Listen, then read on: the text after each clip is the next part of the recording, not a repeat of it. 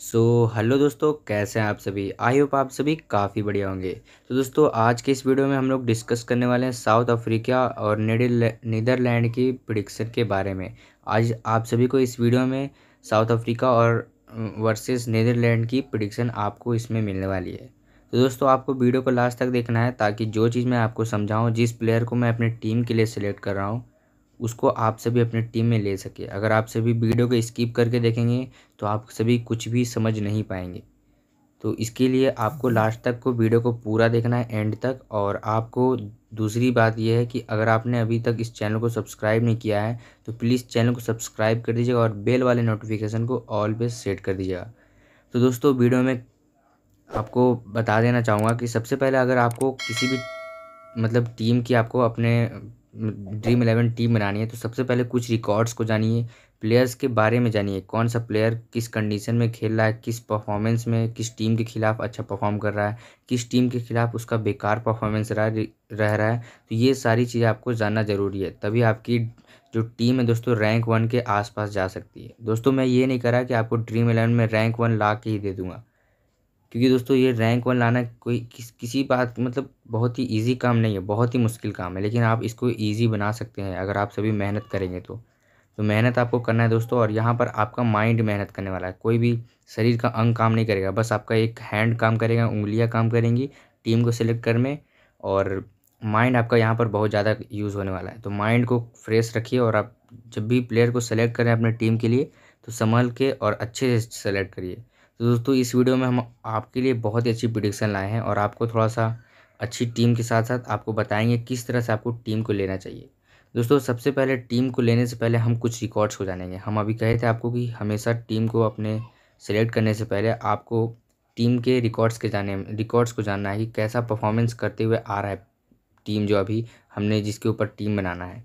देखिए south Africa की यहाँ पर हम लोग बात कर ले। पिछले पाँच मैचों में से इन्होंने सभी मैच को विन किया है लगभग लगभग तो पाँच मैच में खेला इन्होंने और पाँचों का पाँचों विन किया है। तो इस टीम की और इस टीम के प्लेयर्स के काफ़ी अच्छे कॉन्फिडेंस रहेगा, क्योंकि इन्होंने पाँच मैच खेला। पाँचों मैच में सभी अच्छा परफॉर्मेंस करते हुए आ रहे हैं और वर्ल्ड कप मैच खेल रहे हैं। सभी मैच को विन ही कर रहे हैं तो अच्छा परफॉर्मेंस ये रहा इनकी टीम के साइड से। अब देखिए दोस्तों साउथ अफ्रीका के प्लेयर अच्छा खेल रहे होंगे, तभी उनकी टीम विनिंग कर रही है। तो साउथ अफ्रीका की टीम यहाँ पर अच्छा परफॉर्मेंस कर रही है और उसके प्लेयर्स भी। वहीं पे हम लोग नीदरलैंड की यहाँ पर बात कर लें। तो नीदरलैंड जो है, पाँच मैच, मैचों में से उन्होंने तीन मैच को लॉस कर दिया। यहाँ पर आप लोग देखिए, जो एल का साइन दिख रहा है आपको, वो लॉस है, ठीक है दोस्तों? तो तीन मैच को इन्होंने लॉस ही कर दिया तो इनका कॉन्फिडेंस काफ़ी कम रहेगा, इसके प्लेयर्स का भी कॉन्फिडेंस कम रहेगा, क्योंकि उसके सामने जो टीम आ चुकी है, देखिए, ये दोनों का दोनों का मैच होने वाला है साउथ अफ्रीका और नीदरलैंड का, ठीक है? वर्ल्ड कप का मैच है। अब नीदरलैंड क्या सोचती होगी कि भाई, जो पिछला मैच अभी साउथ अफ्रीका खेलते हुए आ रही है, उसको विन की उसका चार पाँच जो पिछला मैच रहा, सभी विन की है। तो इस मैच में भी हमें हरा सकती है। तो थोड़ा सा इनके ऊपर दबाव रहेगा नीदरलैंड के ऊपर। और जो कॉन्फिडेंस रहेगा, वो है साउथ अफ्रीका के पास। तो दोनों ही टीम काफ़ी अच्छी है। ऐसे नहीं है कि दोनों ही ख़राब है। दोनों ही टीम अच्छी है। बस आपको देखना है कौन सी टीम आपको अच्छा पॉइंट देती है। मेरे हिसाब से आपको यहाँ पर मालूम चल चुका होगा कि कौन सी टीम से आपको ज़्यादा प्लेयर्स को सिलेक्ट करना है। देखिए, अगर अच्छी टीम है तो अच्छी टीम कैसे बनती है? जब प्लेयर्स उसके अच्छे होंगे तभी ना। तो प्लेयर्स अच्छे हैं साउथ अफ्रीका में। यहाँ रिकॉर्ड्स के हिसाब से। तो प्लेयर्स आपको साउथ अफ्रीका के प्लेयर्स को अपने टीम में ज़्यादा रखना है। नेदरलैंड की बात कर ले तो नेदरलैंड के प्लेयर्स को अपने टीम में कम रखना है। तो ये हम, हमें मालूम चल चुका है कि किस टीम से हमें ज़्यादा को उठाना है और किस टीम के हमें कम प्लेयर्स को रखना है। देखिए दोस्तों वेन्यू की यहाँ पर हम लोग बात कर ले। Himachal Pradesh cricket association stadium, Dharamshala, India में। ठीक है दोस्तों, धर्मशाला, इंडिया में मैच है।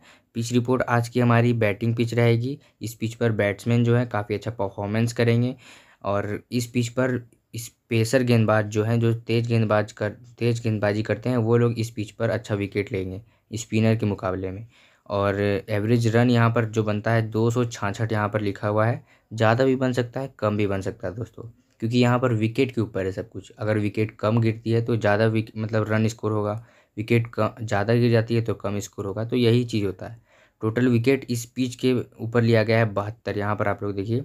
बाई पेसर चौवालीस विकेट, बाई स्पिनर अट्ठाईस। यानी कि लगभग लगभग दोनों ही बॉलर यहाँ पर अच्छा परफॉर्मेंस कर लेते हैं, ज़्यादा का डिफरेंस नहीं है। हेड टू हेड की बात कर लेते हैं दोस्तों, देखिए। हेड टू हेड का मतलब होता है कि इन दोनों के बीचों में कितना मुकाबला हुआ है, ठीक है? साउथ अफ्रीका साउथ अफ्रीका और नीदरलैंड के बीच में कितने मुकाबले हुए हैं टोटल? तो पिछले पाँच साल के रिकॉर्ड्स के हिसाब से यहाँ पर तीन मैच खेले गए हैं और सारा मैच यहाँ पर साउथ अफ्रीका विन किए। दो मैच का यहाँ पर विन किया और एक मैच यहाँ पर नो रिज़ल्ट यानी कि रद्द कर दिया गया था मैच। किसी कारण से हुआ होगा, वो अलग बात है, लेकिन यहाँ पर अभी दबाव में नीदरलैंड ही चल रही है। तो आपको यहाँ से भी मालूम चल जाएगा कि कौन सी टीम तगड़ी आपको लग रही है। जिस, जो टीम आपको अच्छी लग रही है, उसमें से हमें अपने टीम के लिए ज़्यादा रखना है प्लेयर। दोस्तों, रिकॉर्ड्स को हमने जान लिया, अब हम लोग टीम को सिलेक्ट कर लेते हैं, प्लेयर को सिलेक्ट करते हैं अपने टीम के लिए। देखिए, यहाँ पर चार प्लेयर दिख रहे होंगे विकेट कीपिंग से आपको। तो चारों में से अगर आपको चारों अच्छे लग रहे हैं तो चारों को नहीं उठाना है, सिर्फ़ एक को ही लीजिए। विकेट कीपिंग से हमेशा एक प्लेयर को ही लीजिए, ज़्यादा आपको लेने के लिए ज़रूरत नहीं है।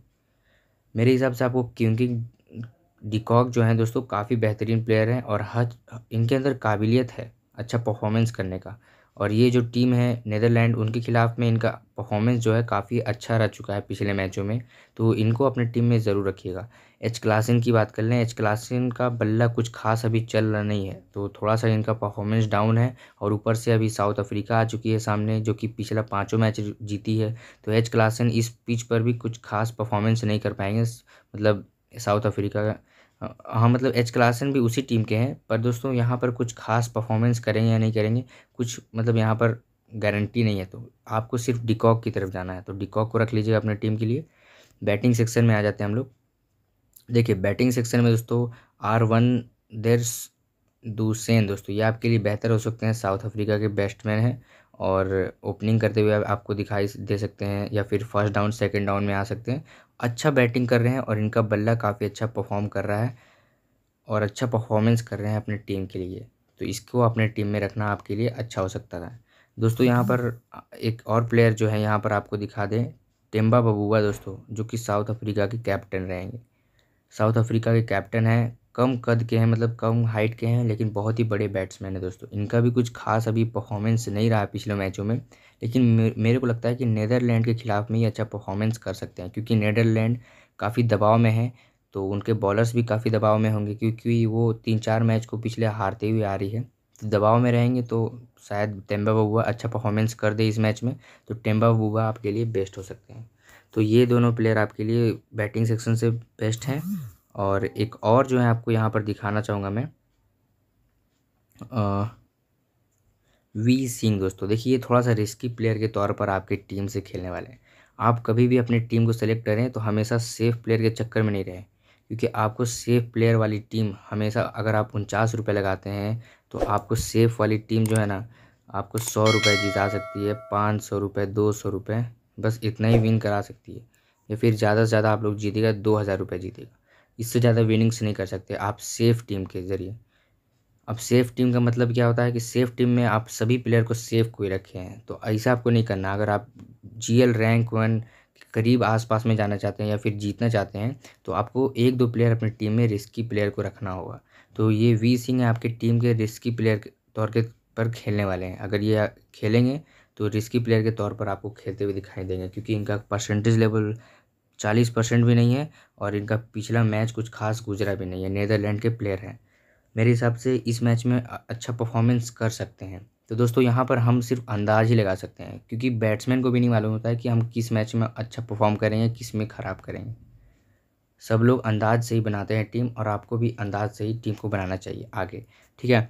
दोस्तों, बैटिंग सेक्शन से हम लोग तीन प्लेयर को ले लेते हैं जिसको हमने कहा था। अब आते हैं ऑलराउंडर सेक्शन में। देखिए, एडम मार्क्रम, जो कि काबिलियत वाले खिलाड़ी हैं, इनके अंदर काफ़ी अच्छा परफॉर्मेंस करने का काबिलियत है। पिछला मैच इनका काफ़ी अच्छा गुजरा है। इनको अपने रख लीजिए अपने टीम में डी लीडा इसको अपनी टीम में रखिए पेसर गेंदबाज हैं और नीदरलैंड के बहुत अच्छे पूर्व मतलब गेंदबाज है दोस्तों और अच्छा परफॉर्मेंस करते हैं। बैटिंग भी अच्छा खासा कर ही लेते हैं।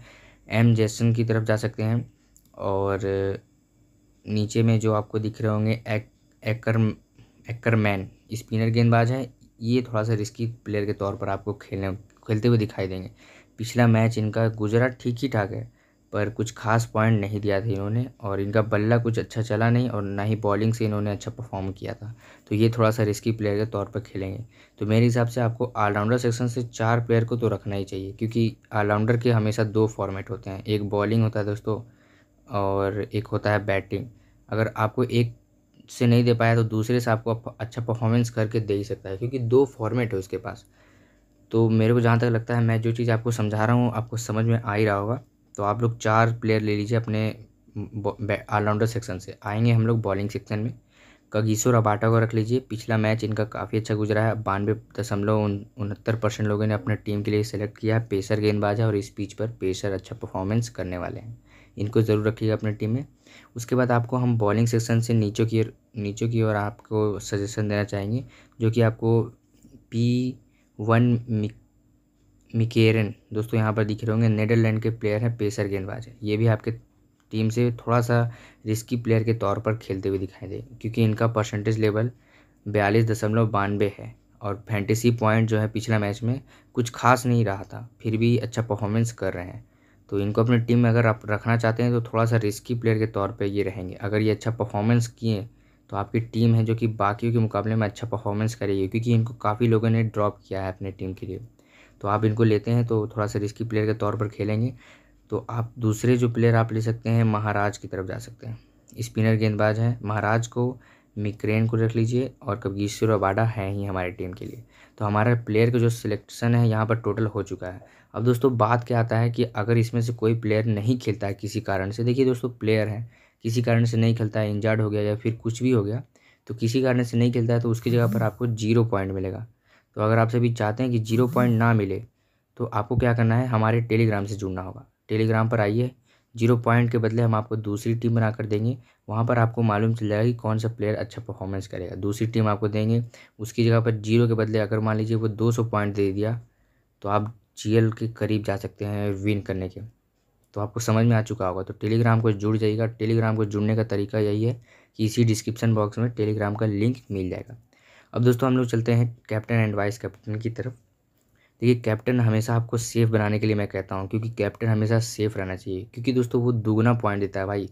अगर वो आपका सेफ़ रह गया और अच्छा परफॉर्मेंस कर दिया तो दुगना पॉइंट के साथ आपको बहुत ऊपर की ओर जा सकता है, ले जाके आपकी टीम तो कैप्टन डिकॉक को ही बनाइए, वाइस कैप्टन थोड़ा सा रिस्की डालिए कैप्टन के मुकाबले में, ताकि आपका जो वाइस कैप्टन होगा थोड़ा सा रिस्की रहेगा, अगर वो अच्छा परफॉर्मेंस किया तो आपको अच्छा पॉइंट मिलेगा। वाइस कैप्टन मेरे हिसाब से आपको ऑल राउंडर सेक्शन से बनाना चाहिए, क्योंकि उसके दो फॉर्मेट होते हैं। अगर एक में फेल लगे तो दूसरे में परफॉर्मेंस कर सकता है अच्छा।